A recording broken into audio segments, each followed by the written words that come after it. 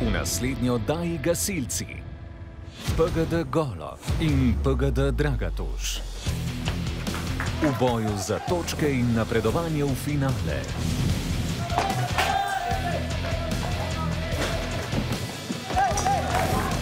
Kdo bo boljši?